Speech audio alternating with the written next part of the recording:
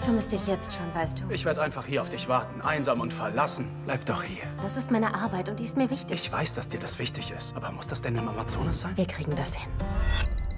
Unglücklicherweise wird Trancoso Tomaten den Vertrag mit Tito Fresco nicht verlängern. Aber das kannst du doch nicht machen, um Gottes Das war's, Tito. Was ist das? Ach, Tito. Überraschung. Ich werde Tito Fresco hierher verlegen. Entschuldigt ihr zwei. Hey, wie geht's? Hey, Teto, alles gut bei dir? Paula, wir haben einen Notfall. Ich muss gehen. Ich verzichte weder auf Tito Fresco noch auf Paula. Ich werde sie bitten, mich zu heiraten. Was jetzt? Paula! Paula! Du musst lernen, Menschen zu sehen und ihnen zuzuhören. So wie du möchtest, dass man dich sieht und dir zuhört. Bist du so egoistisch und verwöhnt, dass du nicht merkst, dass ich ein eigenes Leben habe? Dieser kleine Ara weiß wirklich nicht, was er tut, oder? Das ist Tito. Ich glaube, ich brauche eher eine Schmerztablette.